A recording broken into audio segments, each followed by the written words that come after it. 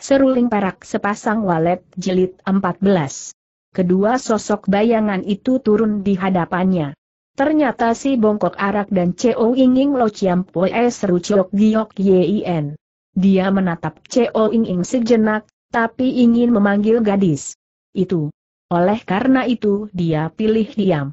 Sedangkan si bongkok arak malah meneguk arak sampai beberapa teguk, kemudian baru membuka mulut.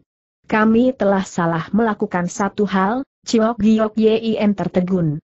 Hal apa tentang kejadian di perkampungan Pahong Chuang, mendengar itu wajah Ciok Giok Yin langsung memerah, kemudian dia menghela nafas panjang dan berkata, Sebab itu kini bertambah satu musuh tangguh, si bongkok arak melotot seraya bertanya, kau menyesal-menyesal pun telah terjadi, HMM kau harus banyak istri agar bisa bersenang-senang dan hidup bahagia. Itu merupakan care terbaik, bukan kata Cheo Ing Ing seperti bergumam ditujukan kepada Ciok Giok Yin. Dia berkata sungguh-sungguh atau menyindir, Ciok Giok Yin sama sekali tidak tahu.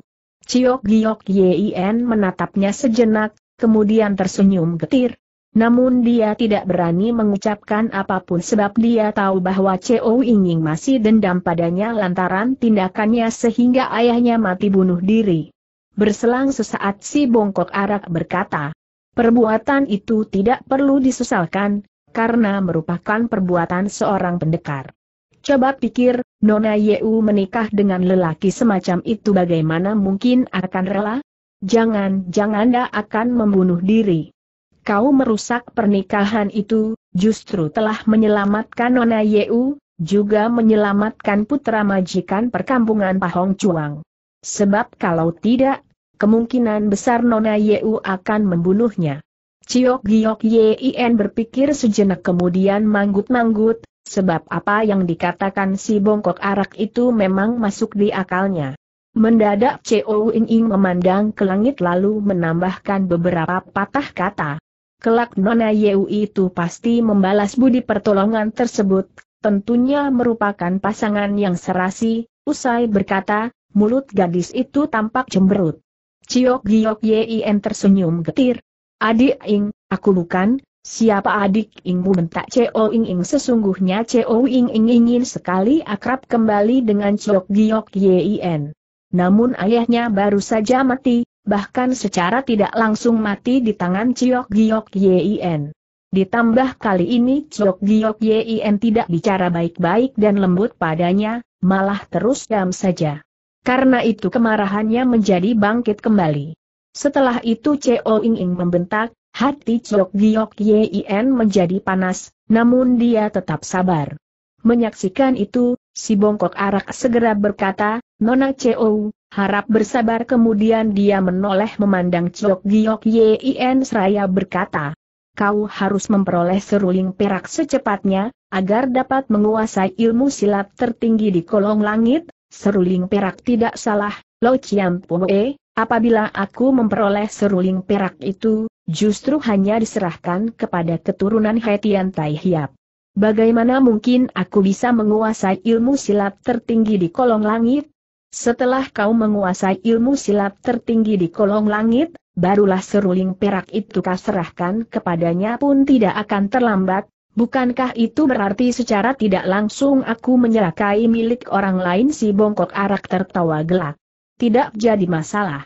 Pokoknya aku yang bertanggung jawab, sesungguhnya Ciok Giok Yin juga menginginkan demikian. Apabila berhasil memperoleh seruling perak dan kitab cucian, maka dia akan melatih ilmu silat tertinggi di kolong langit agar bisa menuntut balas dendam suhunya, kakak angkatnya mertuanya dan membasmi perkumpulan Seng Yen Hui E. Maka dia bertanya kepada si bongko arak. Apakah Lo Chiam Pue telah memperoleh kabar tentang seruling perak itu si bongkok arak mengangguk. Tentu, hati Chok Giok Yin tergerak di mana sekarang kita harus ke kaki Gunung Chong Lam San, Ciok Giok Yin terbelalak. Ke kaki Gunung Chong Lam San NG seruling perak berada di sana? Kita ke sana menunggu seseorang menunggu seseorang mendadak si bongkok arak menyela. Orang itu menerima pesan dari Ken Haiit Kiam. Dia akan menyerahkan sepucuk surat padamu, berhubungan dengan seruling perak dan asal-usulmu. Tapi orang itu tertangkap oleh perkumpulan Seng Yen Hwee, lalu dipaksa harus memberitahukan jejak seruling perak. Hah? Surat seru Ciok Giok Yin tertahan. Yang kita harapkan adalah surat itu, kata si bongkok arak.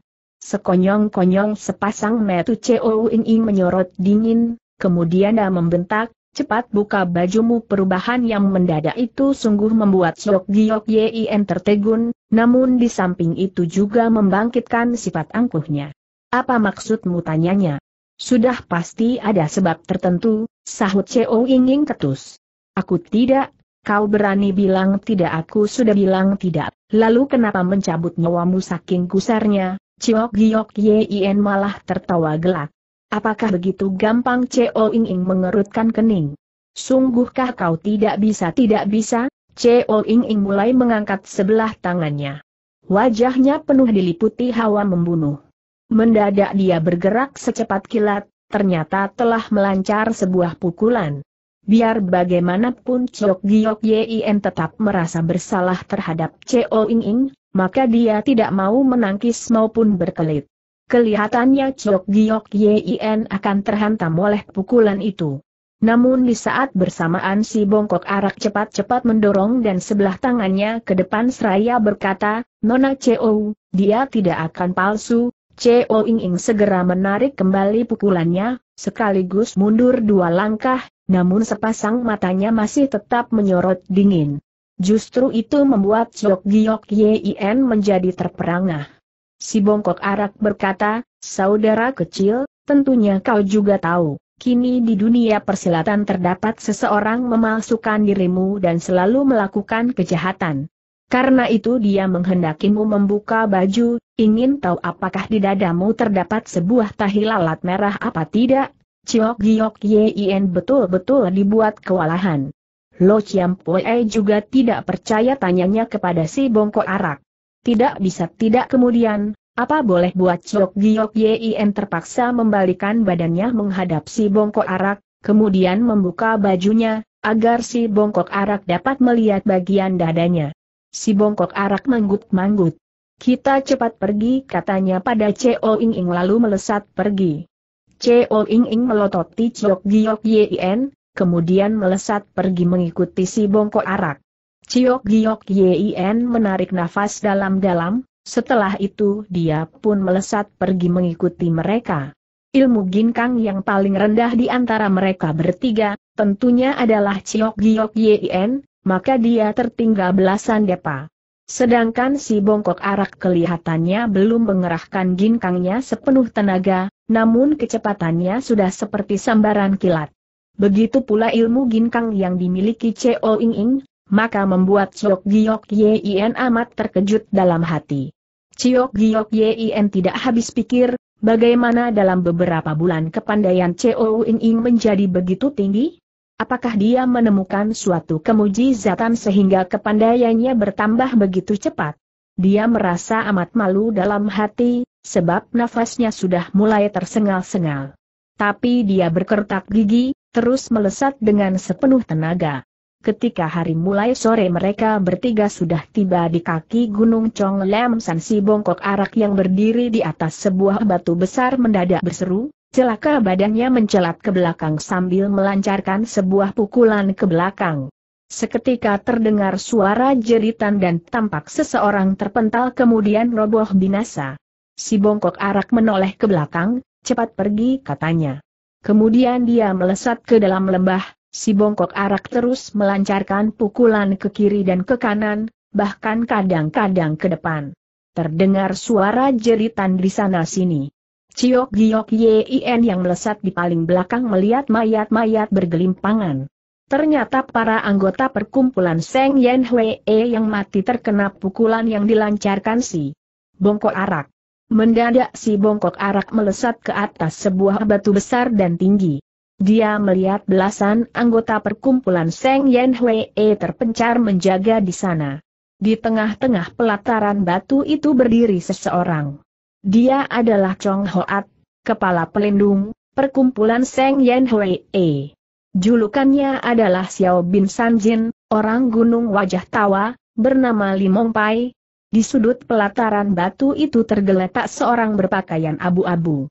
Dia adalah Tui Hang Hek, si pengejar angin, Cheo Kiong dari partai Chong Lempai.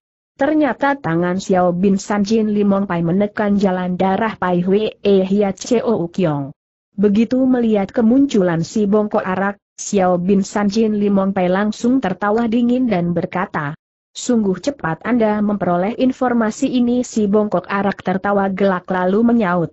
Sepasang kakimu juga amat cepat, Xiao Bin Sanjin Limong Pai tertawa dingin lagi. Apakah Anda bisa memberitahukan nama asli si bongkok arak menyaut? Limong Pai, itu tidak perlu. Apabila kalian ingin meninggalkan tempat ini dengan selamat, lebih baik melepaskan orang itu Xiao Bin Sanjin Limong Pai tertawa kering dua kali lalu berkata, Anda jangan bermimpi, sebab kami masih belum memperoleh benda yang kami inginkan justru di saat bersamaan Cheo Ing Ing melesat ke atas pelataran batu itu. Ketika menyaksikan keadaan pamannya yang mengenaskan, dia langsung berseru memanggilnya dengan pilu. Paman.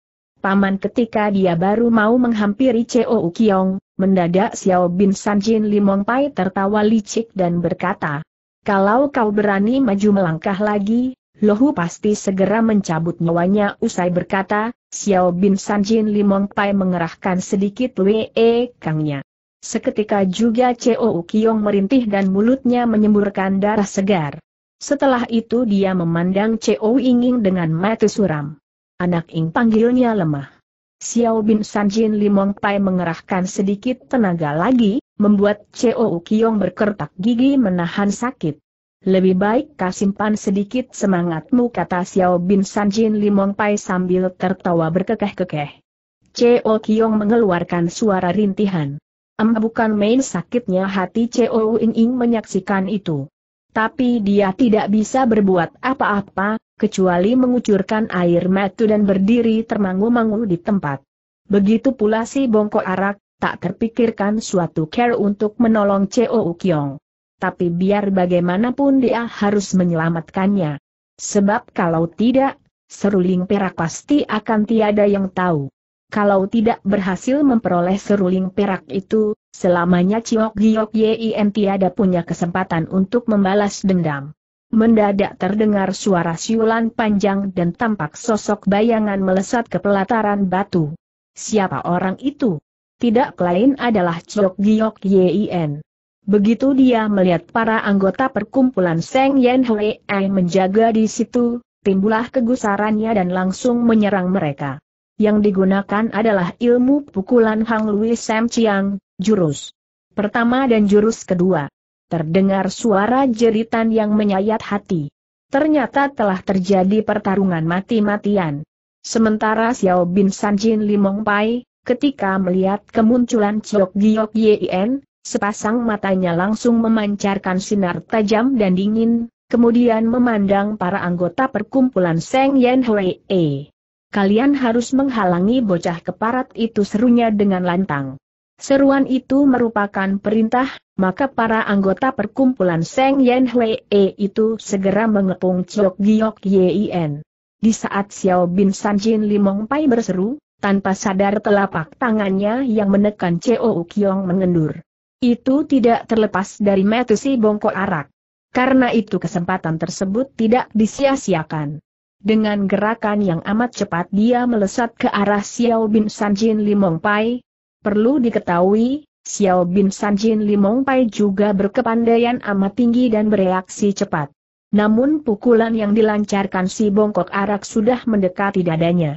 Maka dia harus menangkis kalau tidak, pasti akan terluka parah, bahkan mungkin juga nyawanya akan melayang. Akan tetapi dia tidak gugup sama sekali, sebaliknya malah tertawa panjang sambil sebelah tangannya mendorong Cheo Ukyong. Seketika terdengar suara jeritan dan badannya terpental beberapa di lalu roboh. Di saat bersamaan sebelah tangannya ingin menangkis pukulan yang dilancarkan si bongkok arak, tapi justru terlambat sedikit. Plak! Bahunya terkena pukulan. Sehingga tulangnya remuk. Dapat dibayangkan betapa sakitnya. Fuuh! Seketika itu juga mulutnya menyemburkan darah segar.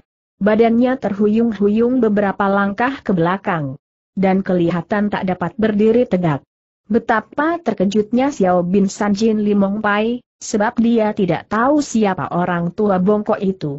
Dia tahu jelas bahwa orang tua bongkok itu telah membuatnya terluka dalam sehingga sulit baginya memberikan perlawanan. Dia juga tahu bahwa nyawa Chou Kiong sudah sulit untuk diselamatkan. Karena itu dia berkata dengan suara serak, baik, kita sudah serah terima dia segera mundur dari tempat itu. Mari kita pergi para anggota perkumpulan Seng Yen Hui cepat-cepat meninggalkan pelataran batu itu. Limong Pai, aku selalu menunggu pembalasanmu kata si bongkok arak sambil tertawa terbahak-bahak lalu melesat ke arah Cheo Kiong. Sedangkan Cheo Ing Ing, ketika melihat Xiao Bin Sanjin Limong Pai pergi, dia langsung mendekati Cheo Kiong, paman. Paman panggilnya sambil menangis. Akan tetapi Ceo Kiong sudah sekarat. Tangan dan kakinya sedingin es untung Xiao Bin Sanjin Limong Pai cuma mendorongnya. Kalau memukulnya, nyawanya pasti sudah melayang saat itu. Ceo Inging terus menangis hingga suaranya menjadi serak. Gadis itu teringat masa kecilnya. Setiap kali Ceo Kiong pulang ke rumah, pasti mengajarnya ilmu silat. Tak disangka. Ciok Giok Yin juga kenal Ceo Kiong. Maka ketika melihat para anggota perkumpulan Seng Yen Hui melarikan diri, dia sama sekali tidak mengejar, melainkan mendekati Cheo Kiong. Paman Cheo Paman Cheo panggilnya dengan air mata berlinang. Di saat inilah si bongkok arak melayang turun dan langsung menegur mereka berdua. Apa gunanya kalian berdua menangis dan memanggilnya? Biar kulihat sebentar dia memutar guci araknya yang tergantung di punggungnya di depan lalau meneguk beberapa kali. Setelah itu barulah dia menjongkokkan badannya. Lo Chiam Poe, tolong selamatkan pamanku kata Ceo Inging terisak-isak. Si bongkok arak mengangguk. Aku akan berusaha sekuat tenagaku, orang tua bongkok itu segera membangunkan Ceo Kiong untuk duduk, kemudian dia sendiri duduk di belakangnya dan sepasang telapak tangannya ditempelkan pada punggungnya. Ternyata si bongkok arak menyalurkan WE kangnya ke dalam tubuh Ceo Ukyong. Berselang beberapa saat ubun-ubun si bongkok arak mulai mengeluarkan uap putih dan dari keningnya merembes keluar keringat sebesar kacang hijau. Itu membuktikan dia sedang menyalurkan WE Kang sepenuhnya. Ciok Giok Yin dan Cheo In Ing menyaksikannya dengan hati cemas. Cheo In Ing mencemaskan nyawa Cheo Kiong. Gadis itu berharap pamannya itu bisa selamat. Sedangkan Ciok Giok Yin mencemaskan asal-usul dirinya. Apabila Cheo Kiong mati, sudah barang tentu dia tidak akan tahu asal-usul dirinya juga tidak akan tahu tentang seruling perak, bahkan tidak bisa belajar ilmu silat tertinggi di kolong lagi. Lalu bagaimana dapat menuntut balas semua dendam itu? Setelah Ken Haiet Kia mati, dia kira selamanya tidak akan tahu asal-usulnya. Siapa sangka justru muncul si bongkok arak memberitahukan tentang Cheo Ukyong. Coba bayangkan bagaimana dia tidak cemas dan panik menyaksikan keadaan Cheo Ukyong yang sekarat itu. Lewat beberapa saat si bongkok arak melepaskan sepasang telapak tangannya lalu menghela nafas panjang sambil berkata, aku sudah berusaha sekuat tenagaku, dia menyeka keringat di keningnya, lalu memandang Ceo Ing Ing sebentar lagi dia akan siaman. Manfaatkan kesempatan itu untuk menanyakan tentang seruling perak, jangan menyia-nyiakan kesempatan itu berselang sesaat Ceo Kiong mengeluarkan suara lemah. Amh, Ceo Ing Ing cepat-cepat memanggilnya. Paman. Anak Ing di sini, Ciok Giok Yin juga ikut memanggilnya. Paman Kiong. Paman Kiong pasti masih ingat padaku, kelihatan Ceo Kiong mendengar suara mereka.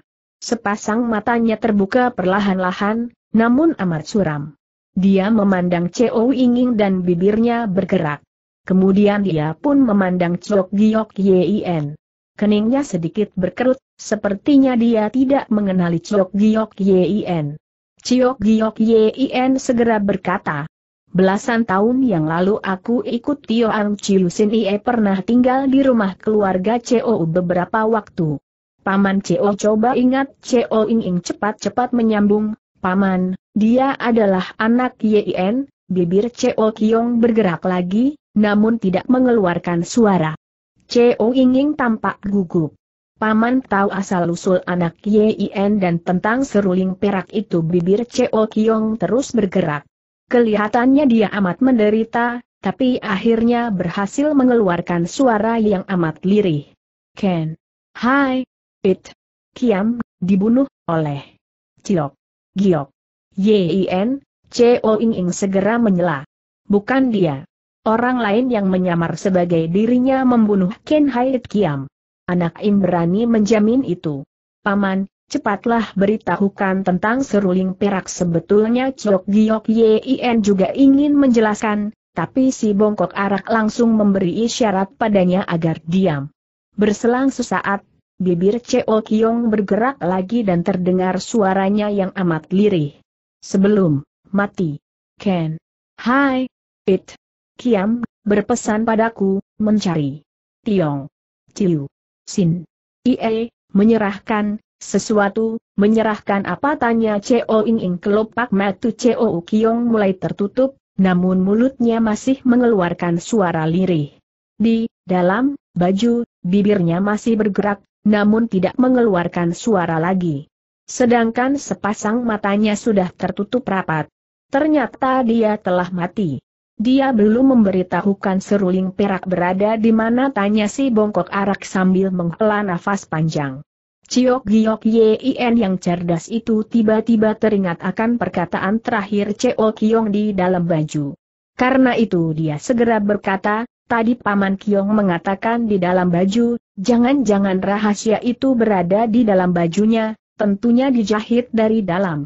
Apa yang dikatakan Ciok Giok Yin, justru menyadarkan si bongkok arak dan Ceo Inging tidak salah. Memang tidak terpikirkan ke situ kata mereka serentak. Ceo Inging segera membalikan baju Ceo Kiong, sekaligus memeriksanya dengan seksama. Di balik baju itu memang terdapat jahitan benang kuning, tapi tidak terdapat apa pun. Mereka bertiga terus memperhatikan jahitan benang kuning itu, tapi tetap tidak menemukan apa-apa. Akan tetapi si bongkok arak yakin bahwa dalam jahitan benang kuning tersebut pasti tersimpan suatu rahasia yang menyangkut seruling perak. Seandainya Ceo Kiong bisa hidup beberapa saat, tentunya akan memberitahukan rahasia itu. Ceo Kiong pasti tahu sebab Ken Haiit Kiam pasti telah memberitahukan padanya.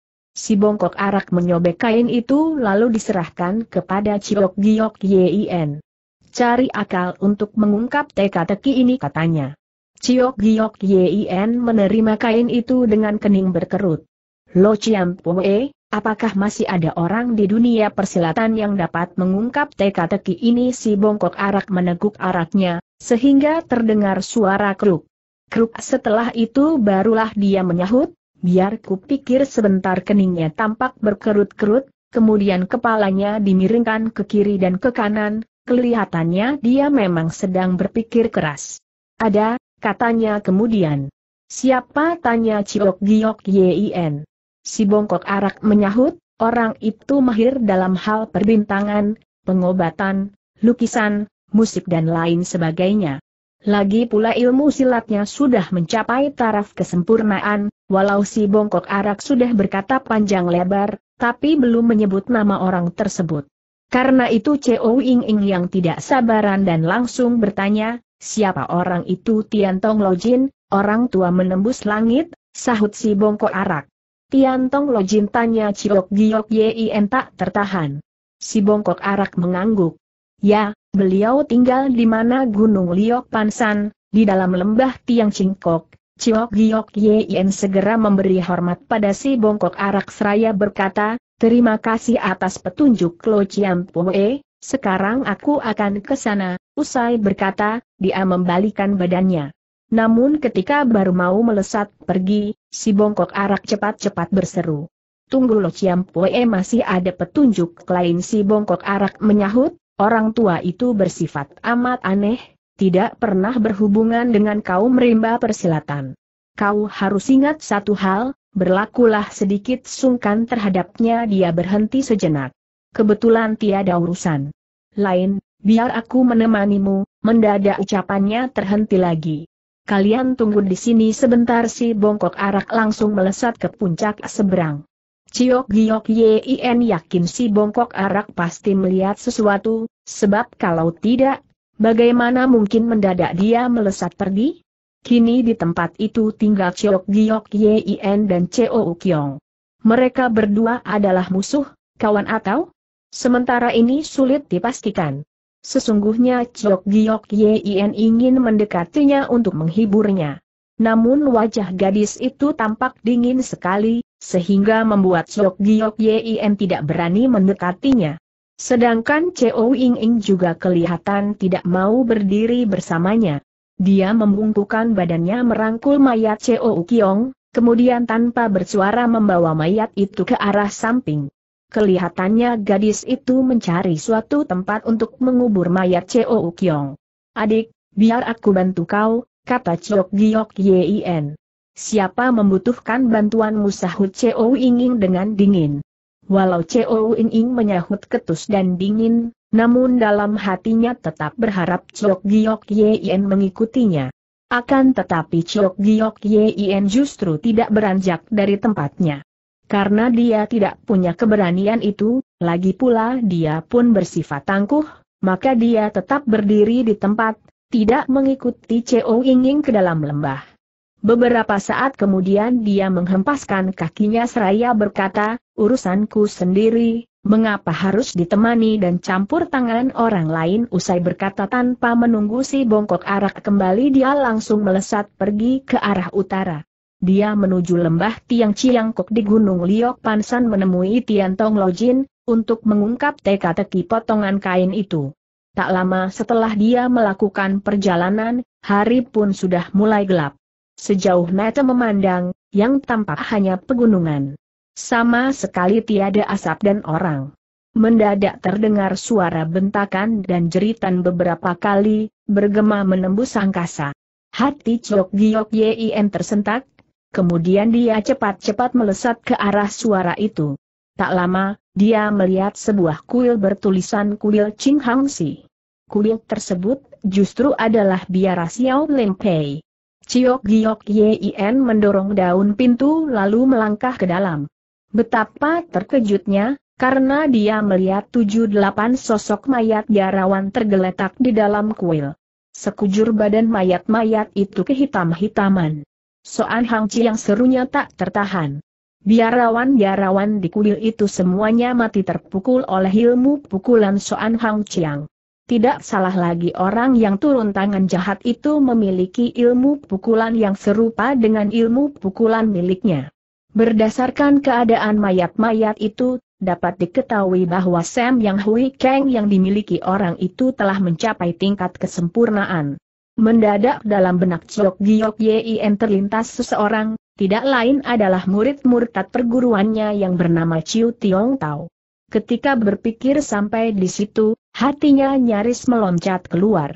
Setelah itu wajahnya berubah menjadi dingin dan diliputi hawa membunuh.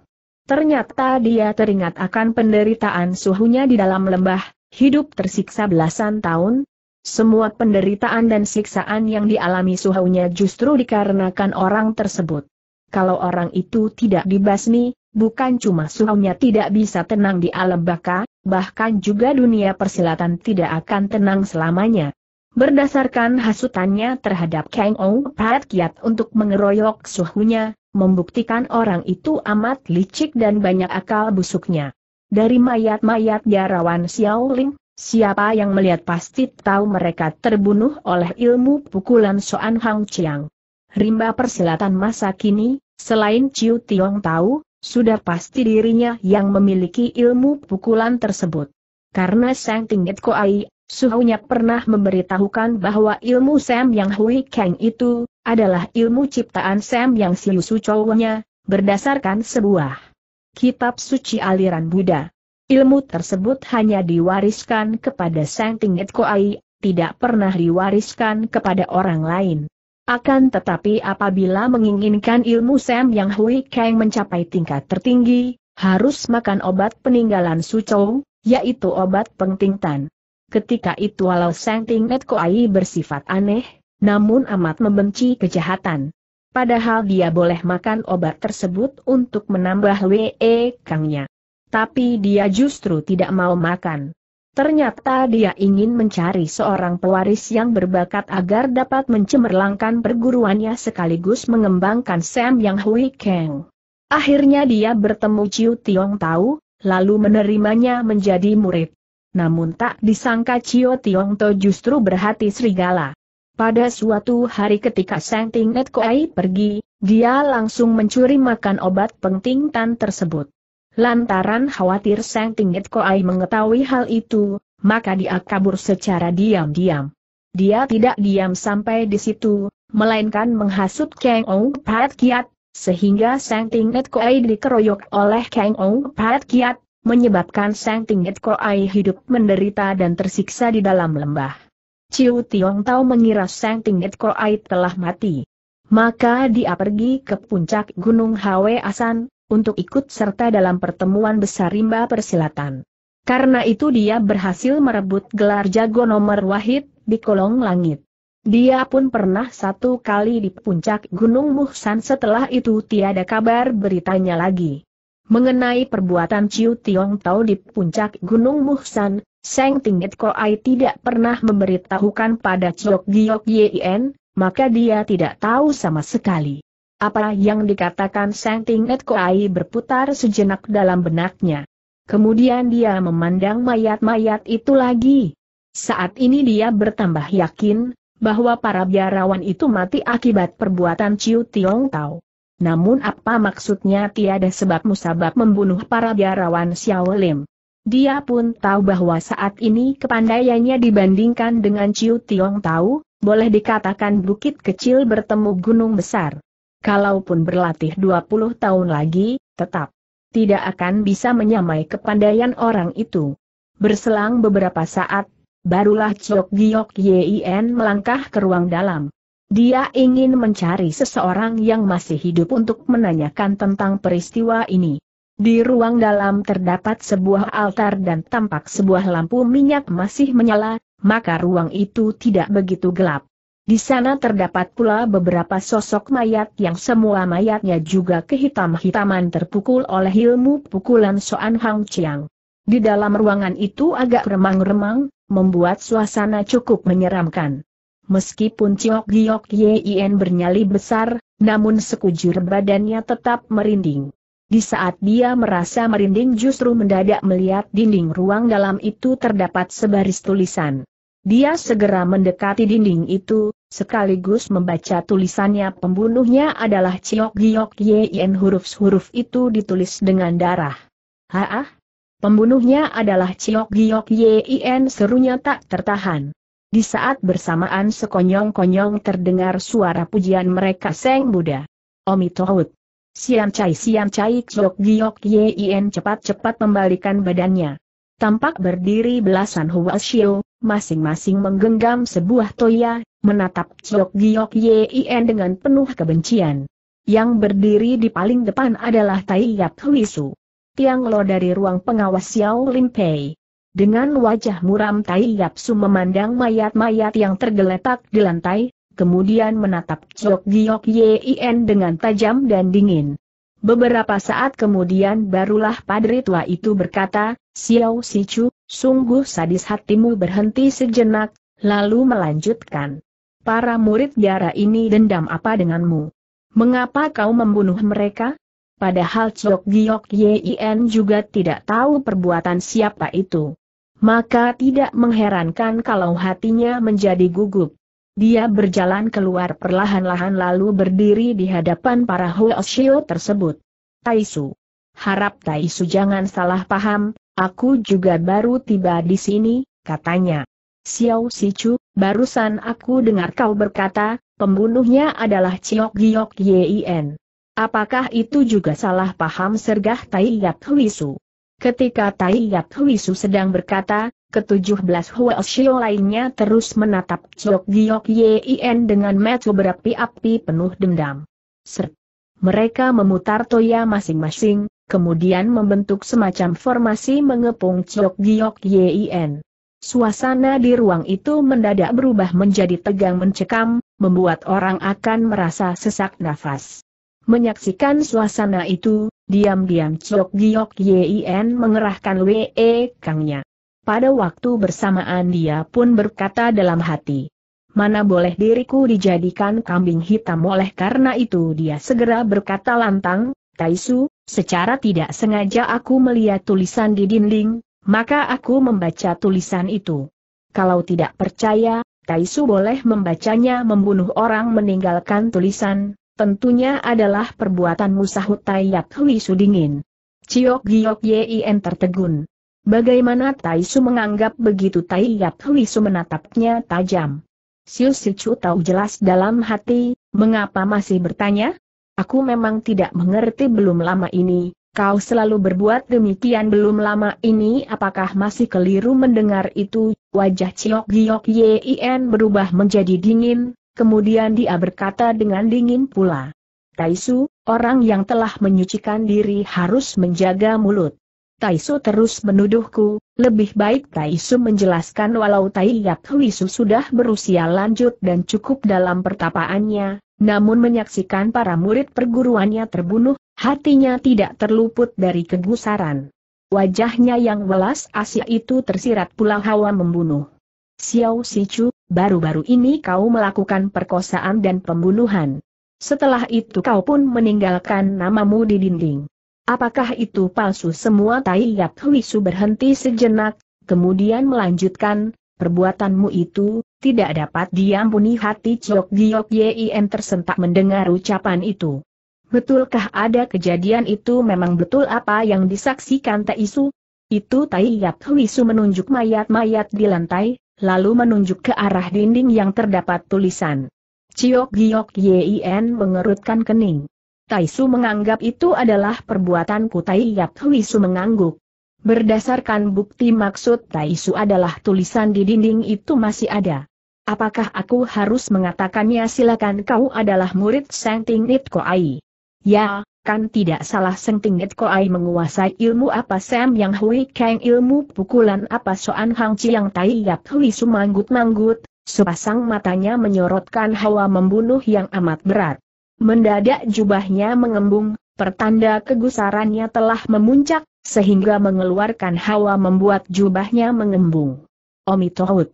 Para murid perguruanku mati karena apa mati karena terpukul oleh ilmu pukulan Soan Hang Chiang sahut Chok Giok Yin dengan jujur. Tidak keliru tentu tidak Taiyap Hui sumaju tiga langkah sambil berkata, Xiao Sichu adalah murid Sang Tingget Koai, sudah pasti menguasai ilmu. Sam Yang Hui Kang dan ilmu pukulan Soan Hang Chiang. Lalu apakah masih ada penjelasan lain Ciok Giok Yin mengerutkan kening. Xiao Sichu, bagaimana pertanggungan jawabmu bentak Taiyap Huisu? Ketika mendengar suara bentakan itu, Ciok Giok Yin merasa hatinya berdebar-debar tidak karuhan. Telinganya juga merasa ngungungan tak henti-hentinya.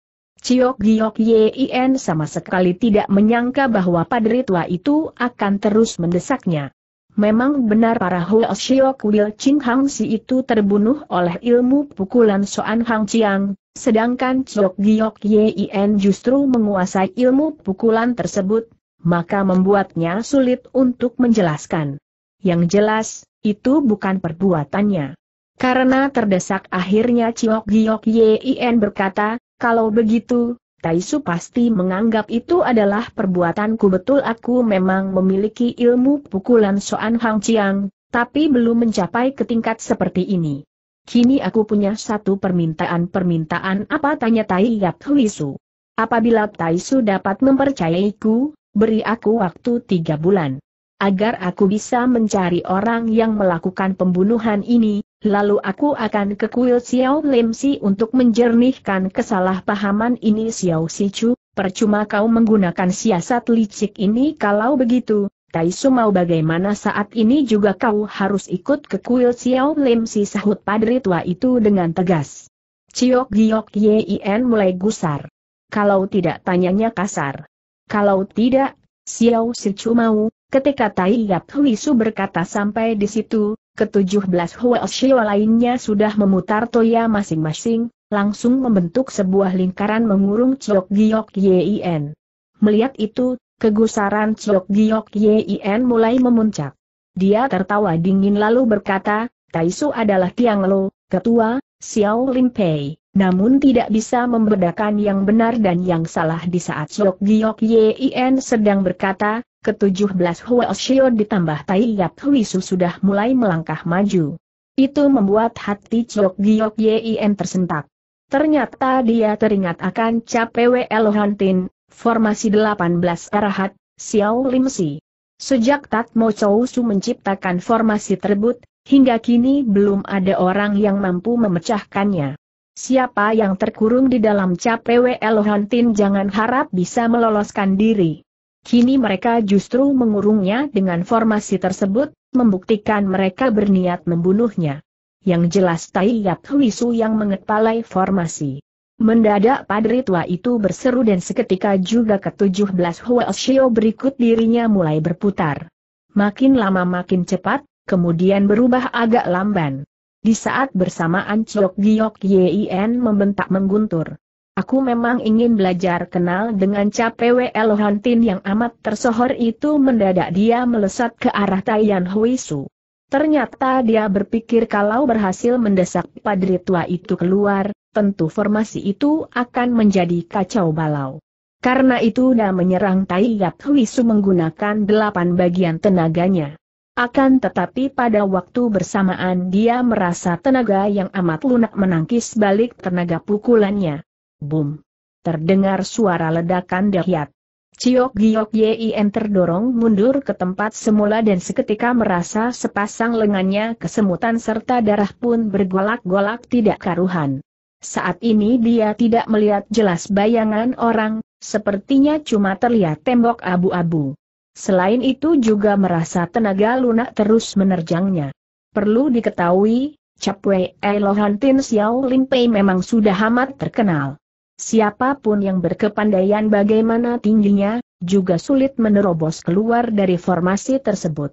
Lagi pula ke-18 Huoshio itu tergolong pesilat tinggi di dunia bersilatan. Di saat mereka berputar, toya di tangan mereka juga ikut berputar sehingga menimbulkan semacam tenaga lunak. Kalau orang yang berkepandaian tinggi, masih bisa menangkis tenaga lunak itu dengan pukulan namun harus menggunakan tenaga lunak pula, baru bisa bertahan beberapa saat. Apabila tidak, hanya menerjang ke sana kemari secara tidak karuan dan membabi buta, justru akan membuat dirinya terserang oleh tenaga lunak tersebut. Seandainya terus terserang oleh tenaga lunak itu, niscaya akan membuat tulang orang yang terserang itu menjadi remuk dan dagingnya pun akan hancur. Akan tetapi kalau mereka cuma ingin menangkap orang yang terkurung itu hidup-hidup, tentunya tidak akan menyerangnya dengan sepenuh tenaga, maka orang yang terkurung hanya akan lemas tak bertenaga, lalu ditangkap. Namun Tai Yap Huisu sudah menganggap Chok Giok Yin sebagai pembunuh. Lagi pula tempo hari dia membunuh tiga tosu dari partai Gobi Pei, dan urusan itu pun belum beres.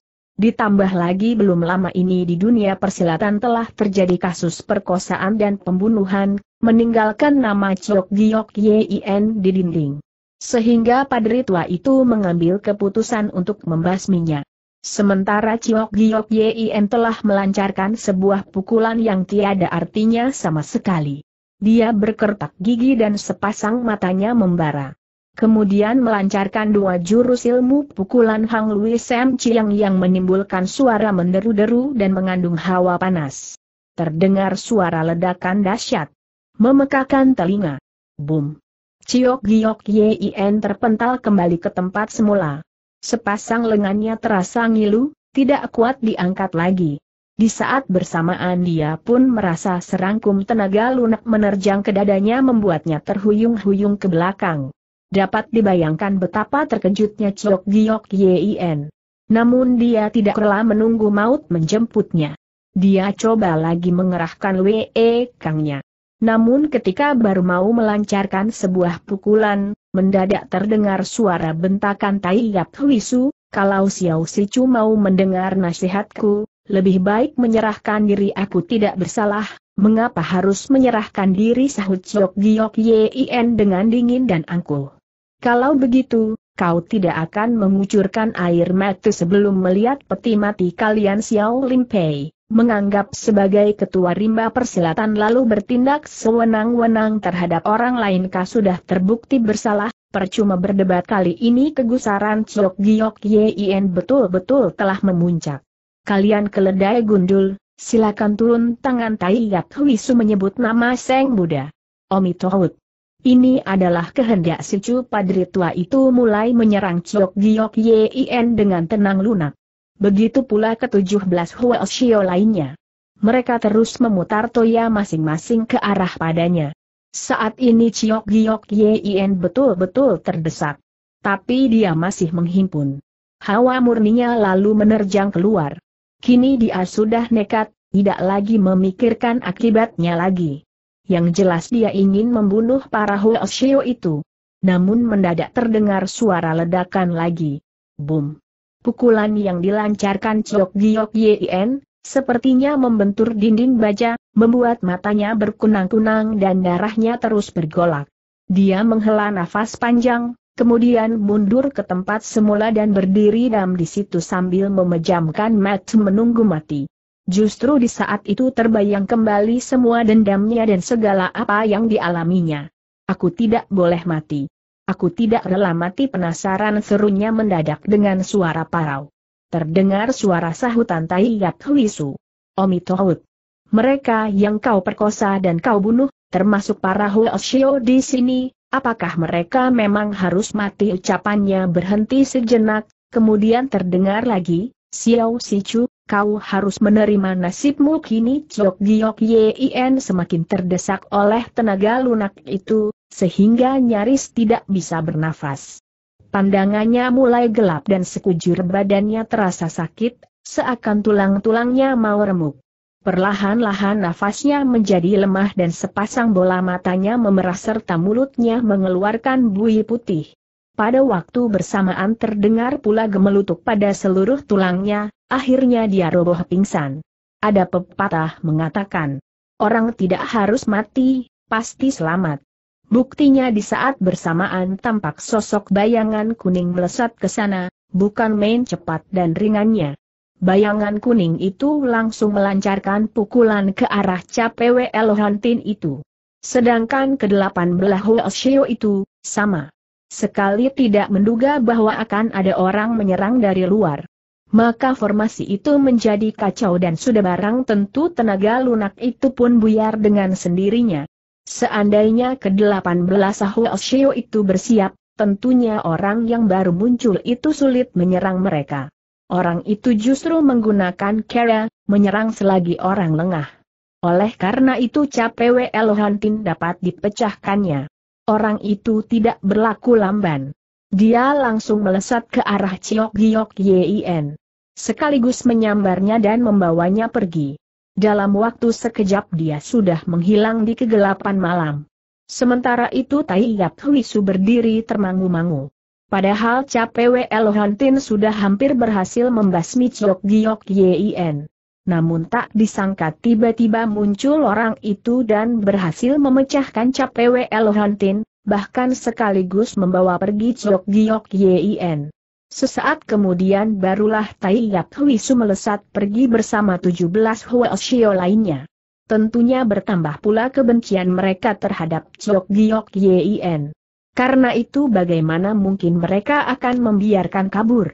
Akan tetapi Tai Yat Huisu juga merasa amat malu, sebab kali ini Capewe Elohantin yang amat tersohor itu justru telah dipecahkan oleh orang tak dikenal, bahkan orang itu berhasil menyelamatkan Chok Giok Yin.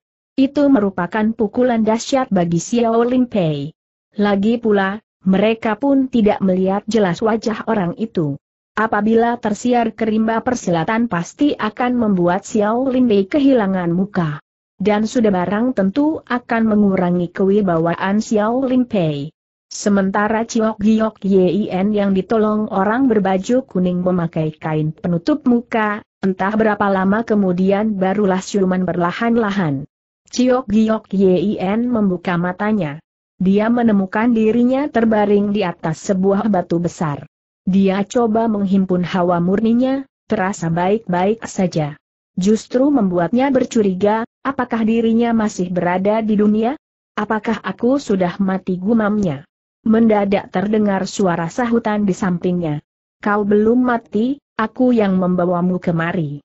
Begitu mendengar suara sahutan itu, Ciok Giok Yin segera bangun. Dilihatnya seorang berbaju kuning memakai kain penutup muka berdiri di sampingnya sepasang matanya menyorot tajam. Mendadak Ciok Giok Yin teringat akan orang itu. Ternyata ketika dia terkurung oleh Bulim Sam Siu di depan gua Susat, orang tersebut yang menyelamatkannya. Seketika Ciok Giok Yin memberi hormat padanya seraya berkata, Terima kasih atas pertolongan Ciam Poe, aku tidak akan lupa selama-lamanya, itu cuma merupakan pertolongan yang tak berarti, tidak usah diingat dalam hati, maaf, bolehkah aku tahu nama Ciam Poe kita bertemu secara kebetulan, untuk apa aku harus meninggalkan nama dan marga kita bertemu kedua kalinya, kata Chok Giok Yin sambil menatapnya. Tidak salah. Tempo hari aku pernah berkata, apabila saudara kecil sudah amat terdesak hingga tidak bisa menaruh kaki di dunia persilatan lagi, maka aku bersedia membawamu ke suatu tempat yang dapat menjamin keselamatan nyawamu. Mendengar itu, Ciok Giok Yin merasa agak tidak senang. Namun terhadap orang yang telah menyelamatkannya, dia tidak berani mengutarakan ketidaksenangan itu. Terima kasih atas perhatian Anda. Namun aku bukan orang yang takut mati. Lagi pula aku merasa tidak melakukan kejahatan di dunia persilatan. Karena itu aku tidak perlu menyembunyikan diri, sepasang mata orang berbaju kuning itu menyorotkan sinar yang penuh kelicikan. Lantaran mukanya tertutup kain, tentunya tidak dapat diketahui bagaimana air mukanya. Saudara kecil, mengapa kau bertarung dengan para keledai Xiao Limpe itu Ciok Giok Yin berkertak gigi lalu menyahut dengan sengit. Suhuku punya murid murtad, menyamar sebagai diriku, membunuh para Huoshio di kuil Ching Si. Karena itu mereka menganggap semua itu adalah perbuatanku, orang berbaju kuning memakai kain penutup muka manggut-manggut. Kalau begitu, dia adalah suhengmu tidak salah, Kau tahu namanya Ciu Tiong Tau, Ciu Tiong Tau NG bagaimana kepandaiannya suhuku pernah bilang, kepandaiannya sudah amat tinggi, boleh dikatakan tiada tanding di dunia persilatan, sepasang bola mata orang berbaju kuning memakai kain penutup muka tampak berputar sejenak, lalu dia berkata, Kau yakin kepandaianmu dapat menyemainya? Maka kau ingin membasmi murid murtad suhumu itu Cok Giok Yin berkertak gigi.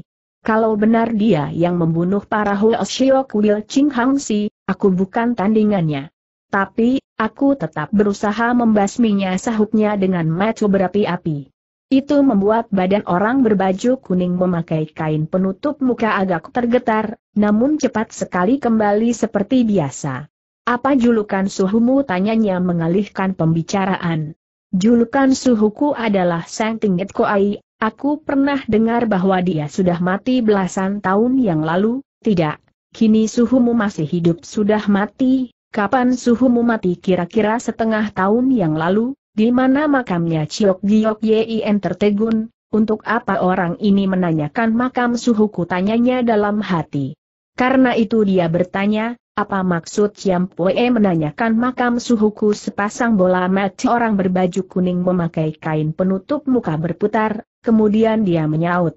Aku cuma sekedar bertanya, sebab dulu kami pernah bertemu. Maksudku, kalau sempat dan kebetulan melewati makamnya, aku akan ziarah. Saudara kecil tidak usah bercuriga, aku tidak bermaksud apa-apa, mendengar itu, Ciok Giok Yin baru mau. Mendadak teringat semasa hidupnya, Sang Tingnet Koai pasti banyak musuh. Kalau tempat makam Sang Tingnet Koai tersiar ke rimba persilatan, mungkin akan ada musuh menggali tulang belulangnya. Karena berpikir demikian, maka Ciok Giok Yin berkata, mohon maaf. Sebelum suhuku mati, pernah berpesan padaku, jangan membocorkan tempat makamnya, sebelum membasmi murid murtad itu. Sebab itu, sementara ini aku tidak berani memberitahukan pada Ciampoe, sepasang mata orang berbaju kuning memakai kain penutup muka menyorot tajam sekali. Lengan kirinya tampak bergerak sedikit. Namun cepat sekali sudah kembali seperti semula. Ciok Giok Yin sama sekali tidak memperhatikannya cuma melihat sorot matanya, sehingga membuat sekujur badannya merinding. Dia berkata dalam hati, sungguh tinggi Wee Kang orang ini beberapa saat kemudian orang berbaju kuning memakai kain penutup muka berkata, baik, aku tidak akan memaksamu dia menatap Chok Giok Yin. Saudara kecil, aku masih tetap mengulangi perkataanku tempo hari. Apabila kau terdesak hingga tidak bisa menaruh kaki di dunia persilatan, aku pasti membantumu. Sampai jumpa dia langsung melesat pergi tanpa menunggu Ciok Giok Yin membuka mulut. Ciok Giok Yin berdiri diam di tempat. Tak dapat diduga sama sekali kepandaian orang itu boleh dikatakan amat tinggi. Sebetulnya siapa dia? Mengapa dia selalu mengatakan kelak akan membantu Kuciok Giok Yin terus berpikir, namun sama sekali tidak menemukan jawabannya, sehingga membuatnya menggeleng-gelengkan kepala. Para tokoh dunia persilatan memang misterius dan sulit diduga. Seperti halnya orang itu, dua kali bertemu justru pada di saat kritis. Dia tidak merasa takut akan bersalah terhadap Xiao Limpei, turun tangan menyelamatkannya sungguh dia gagah berani. Kelihatannya orang tersebut adalah pendekar berhati bajik. Akan tetapi mengapa mukanya harus ditutupi kain sehingga membuat orang terkesan misterius terhadapnya? Akhirnya Ciok Giok Yin teringat akan kejadian di kuil Ching Hang Si. Tidak salah lagi para Huoshio itu pasti dibunuh oleh Chiu Tiong Tao. Berdasarkan itu, sudah pasti dia tahu tentang Ciok Giok Yin, maka sengaja menyamar sebagai dirinya untuk melakukan kejahatan di dunia persilatan. Berpikir sampai di situ, sepasang matu Chok Giok Yin berapi-api, rasa dendamnya terhadap Chiu Tiong To semakin dalam. Namun kemudian teringat akan kepandaiannya sendiri, yang masih jauh dibandingkan dengan orang lain. Apabila dia ingin menuntut balas, harus berhasil mencari seruling perak dan kitab cucian. Setelah berpikir begitu, barulah dia teringat akan tujuan utamanya. Oleh karena itu dia langsung melesat pergi, tujuannya adalah Gunung Liok Pansan akan tetapi mendadak terdengar suara tertawa dingin di belakangnya. Hehe. Ciok Giok Yen, tak disangka kita berjumpa lagi begitu mendengar suara itu, Ciok Giok Yen cepat-cepat membalikan badannya tampak ketua perkumpulan Seng Yen Hui berdiri satu di padi hadapannya. Justru amat mengherankan, kali ini dia tidak memakai kain penutup muka, maka terlihat wajahnya penuh diliputi hawa membunuh. Seketika Ciok Giok Yen membentak sengit. Siluman yang tak habis dibasmi, aku, ketua perkumpulan Seng Yen Hui segera memutuskan perkataan Ciok Giok Yen. Bocah, tempo hari kau dapat meloloskan diri, tapi takdirmu memang harus mati di tanganku, maka kita berjumpa di sini.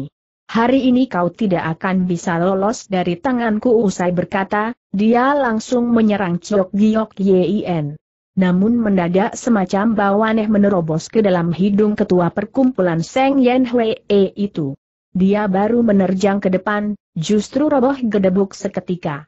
Keningnya berkerut-kerut, kelihatannya amat menderita sekali. Padahal Chok Giok Yin sudah siap menangkis serangannya. Tapi saat ini dia menjadi melongo ketika menyaksikan keadaan orang itu. Sesungguhnya Chok Giok Yin melancarkan sebuah pukulan untuk menghabisi nyawa ketua perkumpulan Seng Yen Hui itu. Namun dia berjiwa kesatria, tidak mau berbuat begitu curang. Karena itu dia tetap berdiri di tempat. Ketua perkumpulan Seng Yen Hwee, silakan turun tangan bentaknya sengit. Namun bagaimana mungkin ketua perkumpulan Seng Yen Hwee menghiraukannya? Dia berusaha bangun, kemudian menengok ke sekeliling seraya membentak, orang pandai dari mana, jangan cuma berani turun tangan secara gelap. Cepat perlihatkan diri terdengar suara sahutan yang amat dingin, Ketua Perkumpulan Seng Yen Hwee, barangku itu sudah harus kau kembalikan padaku barang apa kitab cucian Chok Giok Yin yang berdiri tak jauh tentunya mendengar jelas perkataan itu. Kitab cucian serunya lantang. Siapa kau tanya perkumpulan Seng Yen Hui E? Terdengar sahutan dingin, kau ingin lihat ketua perkumpulan Seng Yen Hui E menyahut dengan gusar. Punya kepandaian boleh berhadapan, jangan bertindak curang menyebarkan racun secara gelap. Itu terhitung orang gagah apa? Aku memang ingin lihat siapa kau? Tampak sosok bayangan berkelebat bagaikan roh, tahu-tahu di tempat itu sudah bertambah satu orang. Butok Siang Sang Seru Chok Giok Yin dan Ketua Perkumpulan Seng Yen Hui E. Butok Sian Seng itu mengangguk pada Chok Giok Yin, kemudian memandang Ketua Perkumpulan Seng Yen Hui. Dia tertawa dingin seraya berkata, Ketua, kau telah terkena racunku, yaitu racun Cip San, racun bubuk tujuh langkah. Kalau kau ingin selamat, cepat kembalikan kitab cucianku itu kitab cucian memang berada padaku, tapi kau harus berikan obat penawar racun dulu sahut ketua perkumpulan Seng Yen Hui Elicik. Butok Sian Seng mengeluarkan sebuah bungkusan kecil dari dalam bajunya seraya berkata, Obat penawar ada di sini sepasang metu ketua perkumpulan Seng Yen Hui menyorot aneh, terus menatap bungkusan kecil di tangan Bu Tok Sian Seng, kelihatannya ingin sekali merebutnya. Ketua perkumpulan Seng Yen Hui, kau tidak usah memikirkan yang tidak-tidak. Jarak di antara kita kira-kira delapan langkah. Sebelum kau melangkah sampai di hadapanku, kau sudah jadi mayat bagaimana ketua perkumpulan Seng Yen Hui tidak akan paham akan hal tersebut? Tapi dia telah memeras otaknya hingga memperoleh kitab cucian dari tangan Butok Sian Seng. Kini harus dikembalikan padanya, tentunya dia merasa tidak rela. Sebab asal berhasil menemukan seruling perak, dia pasti dapat melatih ilmu silat tertinggi di kolong langit. Setelah dipikir-pikir, dia berkesimpulan bahwa nyawanya jauh lebih penting daripada kitab cucian itu. Maka walau merasa tidak rela, tetap harus mengeluarkan kitab tersebut dari dalam bajunya yang masih dibungkus rapi. Kita sudah boleh tukar menukar ranyanya. Butok Sian Seng mengangguk. Boleh, di saat bersamaan ketua perkumpulan Seng Yen Hui berpikir, asal aku memperoleh obat penawar itu, dan segera minum, pasti tidak takut lagi menghadapi Butok Sian Seng.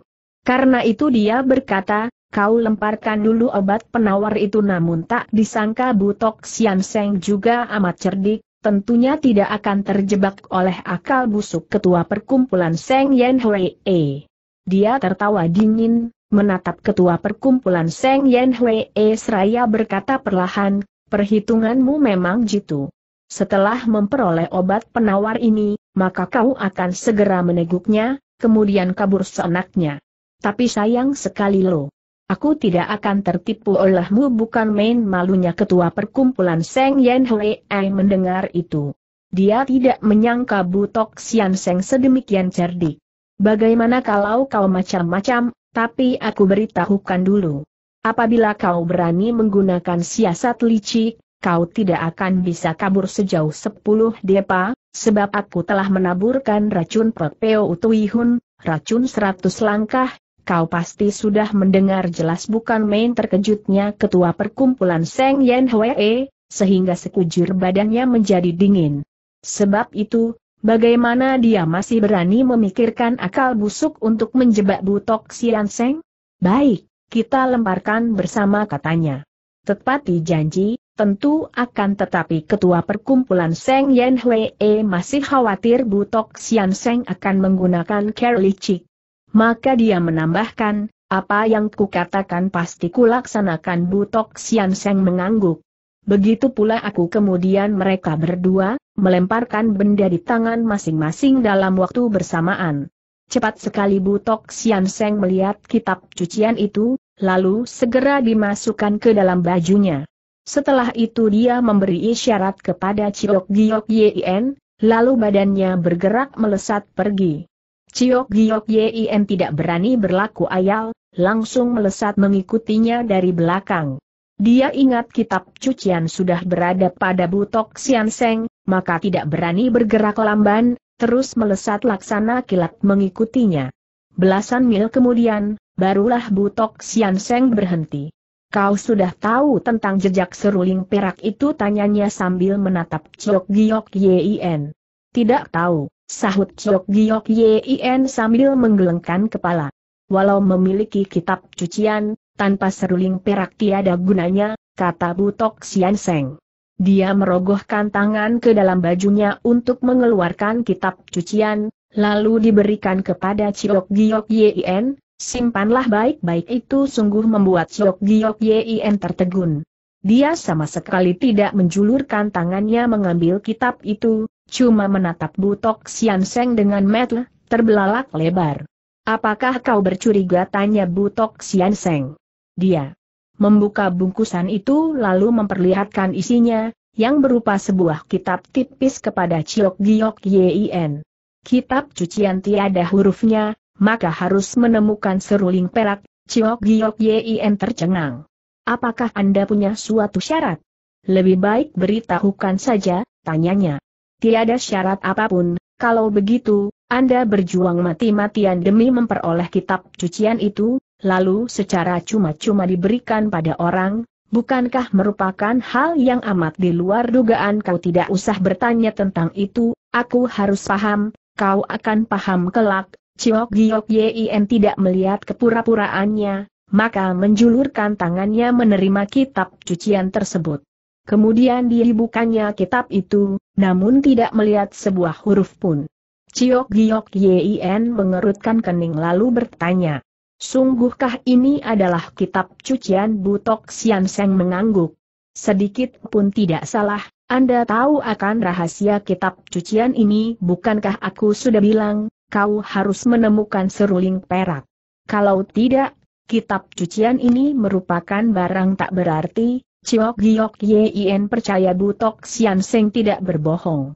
Maka cepat-cepat disimpan kitab tersebut ke dalam bajunya, setelah itu dia memberi hormat seraya berkata, kalau Anda punya suatu syarat, kapan pun boleh memberitahukan padaku, sampai jumpa badan Ciok Giok Yin bergerak melesat pergi. Dia tidak habis pikir, mengapa Butok Sian Seng rela menyerahkan kitab cucian padanya, bahkan tiada syarat pula? Itu sungguh membingungkannya. Berselang beberapa saat, mendadak tercium bau nyeri yang amat menusuk hidung. Dia mengerutkan kening, berkata dalam hati. Mungkin ada orang mati dan terluka Ciok Giok Yin mendekati tempat bawanyir itu. Dilihatnya enam sosok mayat tergeletak di bawah sebuah pohon, yang semuanya mengenakan jubah pendeta Taoisme.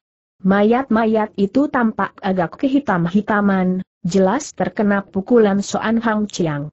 Yang amat mengejutkannya, di pohon besar itu terdapat beberapa huruf yang ditulis dengan Kim Kong Chi, ilmu jari arahat. Yang membunuh para Tosu Gobi adalah Chok Giok Yin setelah membaca huruf-huruf itu, dapat dibayangkan betapa gusarnya Chok Giok Yin. Dia berkertak gigi hingga terdengar bunyi gemeletuk. Kalau aku tidak mencincang Ciu Tiong tahu, hatiku tidak akan puas gumamnya. Mendadak terdengar suara orang berteriak minta tolong, yang kedengarannya amat memilukan.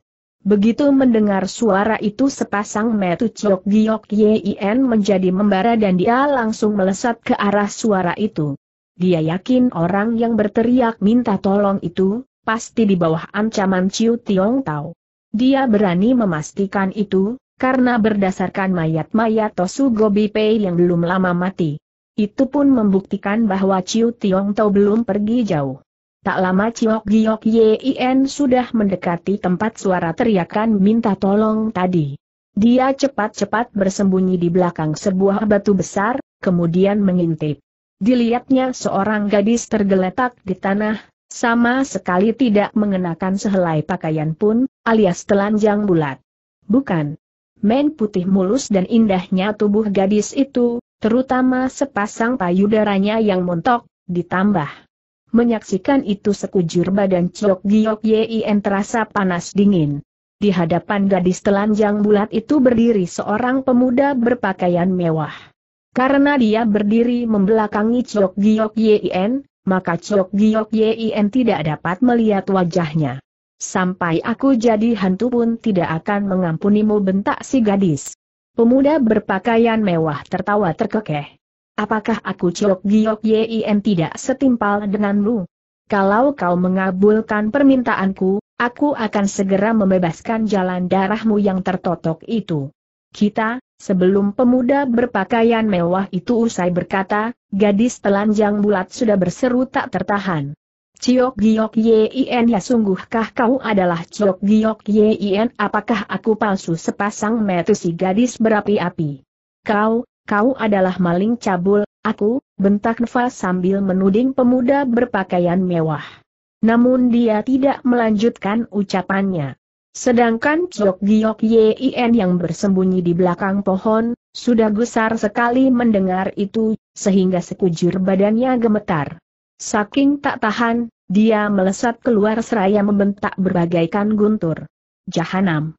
Kau berani menyamar diriku pemuda berpakaian mewah membalikan badannya, ternyata memang mirip Chok Giok Yin. Bocah keparat kau justru berani menyamar sebagai diriku katanya sambil tertawa terkekeh-kekeh. Dia langsung menyerang Chok Giok Yin, mengarah pada jalan darah penting. Saat ini kegusaran Chok Giok Yin telah memuncak. Tanpa menyahut dia segera menangkis dengan jurus pertama ilmu pukulan Hang Lui Sam Chiang.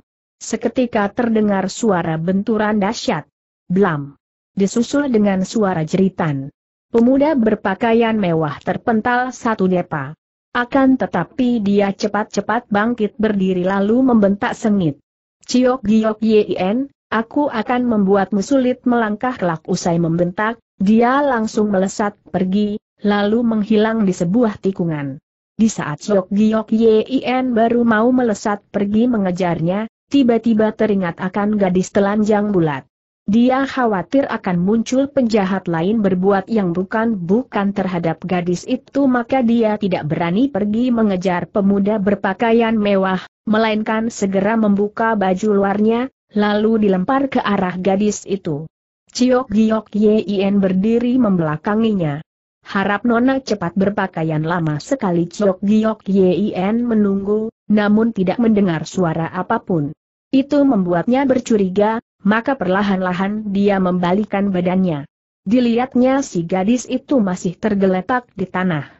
Ciok Giok Yin cepat-cepat membaliknya badannya lagi seraya berkata, Nona harus segera berpakaian, jalan darah Cian Mohiatku tertotok, sahut si gadis. Ciok Giok Yin tersentak sadar, teringat perkataan pemuda yang menyamarkan dirinya, mengatakan akan membebaskan jalan darah gadis itu. Apa boleh buat?